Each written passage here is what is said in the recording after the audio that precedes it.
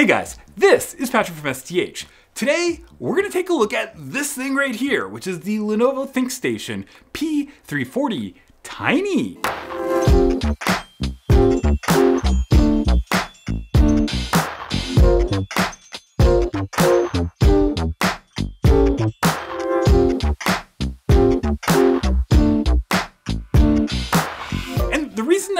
Thing is super cool is because this is a Project Tiny Mini Micro node that is a one liter PC, and this thing also has a GPU in it, an NVIDIA GPU. Now, if you're not familiar with Project Tiny Mini Micro, that's basically where we've been looking at these one liter PCs from Lenovo, HP, and Dell. And over the last couple years, we've taken a look at several dozen of these machines, and so we have a pretty good idea of what all of the machines in this class do, not just from Lenovo, but from other vendors.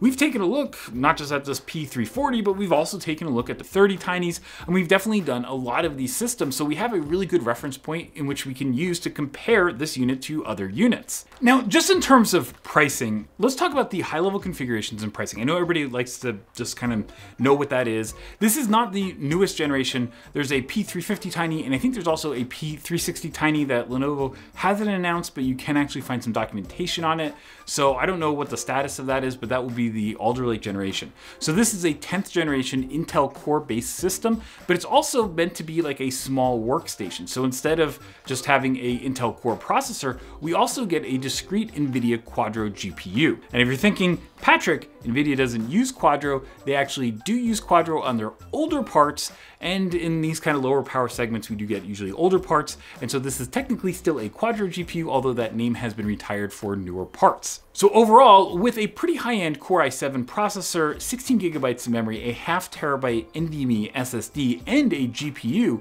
we managed to get the system for $840 or so on eBay. And the reason I wanted this configuration is that it compares to this new mini PC series that we have. And we actually just looked at a mini PC that had 16 gigabytes of memory. It also had a 512 gig SSD. And the current price on Amazon for that one at the time that we're recording this video and uh, well, you know, that, that pricing, of course, all this pricing all changes, but that one's actually at $799 with just an AMD Ryzen CPU, no discrete GPU.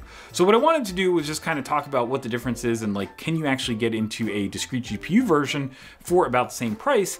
And I think that this thing answers the, well, it's not exactly the same $800, $800, it's like $40 more, but I do think that it's close enough that you would say like, you know, an $800 and $840 system are roughly comparable in terms of price. And so with that, let's get to the hardware.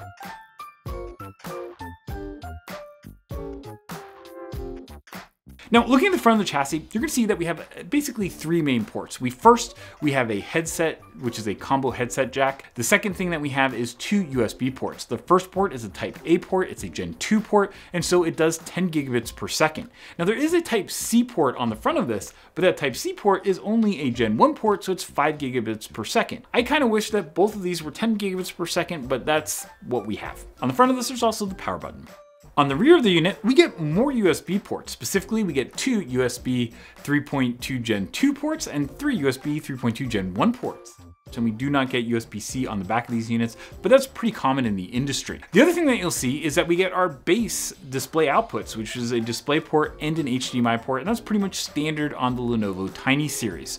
What is different though, is that we get something that's exciting. Specifically, we get four more mini display port outputs because, well, that's what's on our NVIDIA GPU. Rounding out the configuration, we get our Intel i219LM NIC, as well as our Wi-Fi antenna on the back. With that though, Let's go and before we get inside the chassis, I just want to point out something that is a little different on the outside of the chassis. And really, that's just how much area is dedicated to cooling. So you can see on the this P320 here, there's no like, there are no perforations on the top of this unit, right? This is basically just a solid top, whereas we have giant perforation on the top of the newer P340 tiny unit. And that's really just to give a lot more airflow because this thing uses a lot of power. You're gonna see why this may look but it's actually not as small as you think, just in my hand here, and I'll explain why when we get to the power section a little bit later. But I will say that even not just on the top, but also on the sides and on the rear, like even the GPU faceplate, there's definitely a lot more venting in this system because, well, it's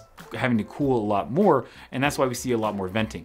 The venting also means though that if you do try stacking these up on top of one another, you usually don't want to do that because you're going to restrict the airflow to this top vent, and that will cause heat problems or it'll make your fans go faster, which will create more noise. And so you typically don't want to stack this type where you actually have the you know vent on the top. With that though, let's get inside the system and well, the first thing is, of course, the screw. The screw I've already taken out because Lenovo doesn't use thumb screws, which is a total bummer. I wish they did, but that's what it is. Now, let's open up the system here and it just pops right off like that, finally. And we get inside.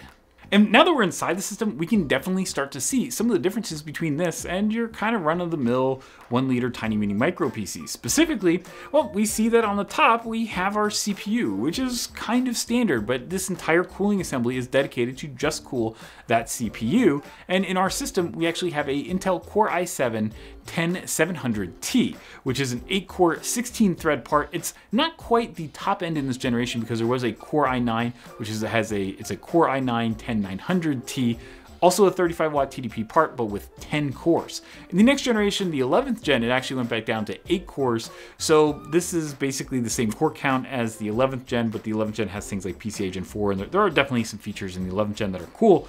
But at the same time, this particular system, we don't have the Core i9. We have done with them before with the Core i9, but we have the Core i7, which is still a pretty darn high-end CPU. But the big difference is that we have a PCIe slot, and it's a pretty standard looking PCIe slot on a little riser. These risers are actually pretty hard to find. You can put them in some Lenovo systems, but they're not super easy to order after the fact.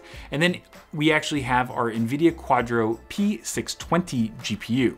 Now this is not something that would be necessarily, like I'm not gonna go tell you to go play competitive games on it or anything like that. What it basically is there, it's a two gigabyte GPU. The P means it's Pascal generation, which is definitely aging at this point. But the basic idea is that it is a low power discrete GPU, and this low power discrete GPU allows you to have four additional display outputs. You can actually go and have like six display outputs just on the system if you're using both the onboard as well as the Quadro display outputs. And although the brand has been retired, you can actually see that this one says Quadro on it. Now, moving to the back of the system, we can see the next feature, and this is one feature that I really like that Lenovo does, and I wish that other vendors did as well. And what you're gonna basically see is that you pop off this back part of the chassis, and then what you basically get is you get SODIMMs and you get your storage. And so here we get two SODIMMs. This particular system only had 16 gigabytes and we only have single channel memory. I always suggest having dual channel memory, so I will put another 16 gigabytes in this as we deploy it. And so we'll have 32 gigabytes. I also think, and we have tried by the way, two 32 gigabyte DIMMs in here, and that gives you a total of 64 gigabytes. And that's actually pretty, that's actually a pretty darn good system, right? When you have like eight cores or 10 cores, you have 64 gigabytes of memory. That's, that's pretty darn good, especially when you have a discrete GPU. The other thing that you're gonna see is that we have NVMe storage. And we don't just have one NVMe drive, we actually have two NVMe drives. Now, Lenovo's configuration with the storage on the back of the motherboard is actually kind of nice here because on some of the other systems like HP and Dell, they'll have their NVMe storage on the top of the motherboard, which means that if you have a GPU, like, you know, you're basically putting something on top of a hot component, which is an NVMe SSD. And so it's just not ideal, I don't think, for like cooling, but I think this is actually a better layout than what Dell and HP use in terms of, you know, their tiny mini micro systems. The other thing is that this system actually has two M.2 slots, so you could go put two SSDs in here. Some of the lower end Lenovo systems have the same kind of cutout, but they only have one of the two M.2 slots populated, so you can only put one NVMe SSD in this, but here you actually get two, which I think is actually kind of an awesome feature. Now what you do lose with this GPU is that you would normally have a like two and a half inch SATA uh, like tray system here, which you don't get because, well, the GPU is in the way and there's no room for it. The other thing is that if you do have to ever switch out the Wi-Fi, well, you'd have to go all the way down here and it's actually the Wi-Fi card sits under the GPU, so you have to like kind of take out this entire assembly. It doesn't really take that long, but it's just something to keep in mind that it is a little bit harder to service the Wi-Fi card here, but I just, I don't think that a lot of people are gonna do that, so that's what it is. And this was a generation where we were just at that point where we are starting to see the transition from like AC Wi-Fi to Wi-Fi 6. And so this does have the, I think the AX201, Intel AX201, which is a Wi-Fi 6 chip. So we actually get some pretty nice little Wi-Fi on this.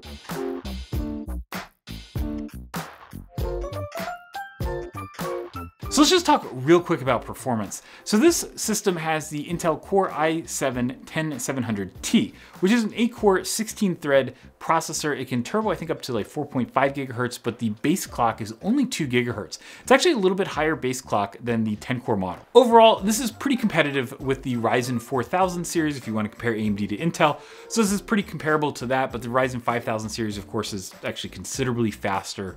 And so I do think that if you want like maximum CPU performance, you probably want to get a Ryzen-based unit, although I don't know if Lenovo actually has a ThinkStation that's Ryzen. I actually don't think they have one. So you'd have to go get something like the M75Q, I guess, or realistically, I'm just gonna put it out here. The HP guys have the EliteDesk 800G 6 and G8 minis. The G6 mini even had a NVIDIA GeForce 1660 Ti, and that's actually kind of cool because that's a much higher end, much faster GPU than we get in this with the P620. Frankly, that's just, that's something that's actually kind of, I guess, more fun than this is. This is really just for display outputs. And this is also the lowest GPU option that you can get. This is the P620, but there's also the P1000 and there's also a T1000 option. Now all three of those have four mini DisplayPort outputs, but you basically go from the two gigabytes of memory that we have, which basically is not lot these days, up to four gigabytes with the P1000, and then you move to the newer generation architecture and eight gigabytes of memory on the T1000 card. So frankly, if I wanted something for like a performance GPU, because I really wanted to accelerate things like that, I probably would really look more towards that T1000 than the P620. And that's just, you know, that's just a feature that is newer technology. But this really the point of the GPU here is 100% just to go provide extra display outputs. It is not really to go and like, if you're saying like, oh, I'd, I'd like to play game, this is not that. If you want to go do some basic acceleration, um, there are definitely applications applications that take advantage of Quadro drivers, and there are things that take advantage of like the media encoders and stuff like that that NVIDIA has. And so that you do get, I guess, with this, although they are older because, you know, we are definitely a couple generations beyond Pascal at this point. So just, I would look up all that kind of information if you are thinking about the P620 or P1000, and also just the T1000. I would just double check the specs in terms of what you're looking for and what this actually has.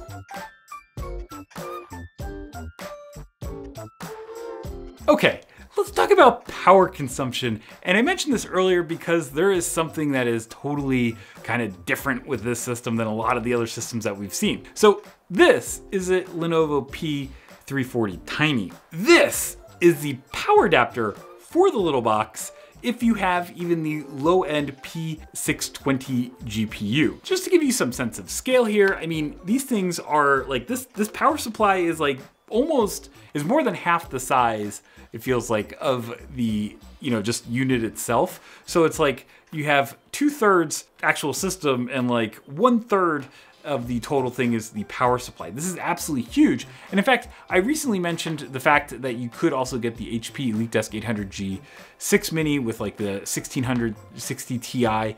That one, for example, actually uses a, I guess, a smaller, I think it has a 150 watt power brick if you get the GPU option. We're actually gonna have the G8 version of that with the GPU that uh, is being recorded right now, but we haven't published it yet. So you'll see that soon. But this is just, I mean, this is a giant power brick. I mean, it's huge, 230 watts. Now you're probably wondering how that translates into actual power consumption. Something that we saw that was a little different was just in terms of power consumption, it is much higher in this system than we have been seeing from the Project Tiny Mini Micro segment. Specifically, we are not seeing power consumption in that, you know, maybe 9 to 13, 14 watt range with this system. This one really kind of the lower end of the power consumption like we saw at idle was like somewhere in the 22, 23 watt range. But something that we did notice was that if we just let the system just sit there and go for a little while, the overall power consumption would actually creep up over time. And so if we let this thing just kind of sit idle for a little while, we actually saw that, I think maybe it was just a, a heat soak thing or something, but we actually saw that the overall idle power consumption would actually go up. And if we left it for like a day or two at idle, we would actually start getting into the 30 to maybe 33 watt range at idle. So it's definitely much higher. And that's something that we wouldn't have seen if we just kind of plugged it in and did a quick idle test. It's something that you had to like plug it in and just kind of watch the thing go up over time. And at the top end, we actually got the thing to go and push over 150 watts in our testing when we had it fully loaded and stuff. So, I mean, frankly, can you get this thing up to a pretty high power output? I mean, you definitely can. So I can understand why Lenovo actually went with the big honkin' 230 watt power brick because I mean, this system actually uses quite a bit. The other thing is that, especially when you start getting over, you know, maybe 60 to 80 watts of power consumption, the fans in the system really start to spin up and you definitely start to hear it. So at idle, it's, yeah, there's a little bit of fan noise, but it's not really too, too bad, even in that, you know, like 30 watt range once it starts getting a little heat soak. I think Lenovo does a good job of fan management there. But when you start getting that thing loaded up, I mean, you can definitely hear some of those that fan noise. And that's just frankly the fact that you have so much power consumption in such a small package that, well, you know, you got to move airflow through the chassis to cool everything because you don't want things to overheat. And when you do that, it creates more noise. And so these are much noisier than some of the other systems that we've seen where you basically just have a CPU, you don't have a GPU, and you're just not cooling as much. Especially with the Intel parts, they are a little bit uh, warmer in these systems than we are seeing the AMD parts, especially in the Ryzen 5, 4000 and 5000 series. So I would definitely say the power consumption in this is, even though it's a small system, it's not necessarily small in terms of power consumption. One other tiny features that you're gonna see that we have the Core i7 with vPro, so this system actually does support vPro out of the box. Just something to keep in mind that that is a feature and this one supports it if you do wanna go down the vPro route for manageability. However, while this has the vPro sticker, that is a feature that is not on the entire range, so definitely double check if you're looking at you know processors that the processor that you want to choose also supports vPro if that's a system feature that you want. And also, even if it the processor does support vPro, in theory you can get these systems or some companies will get these systems with vPro turned off because they do not want that remote manageability. And if that's the case and you were to buy that like secondhand, you could have a system that in theory should support vPro, but it actually doesn't support vPro. So with vPro, always double check and make sure that the system that you're purchasing supports it if that's a feature that you want.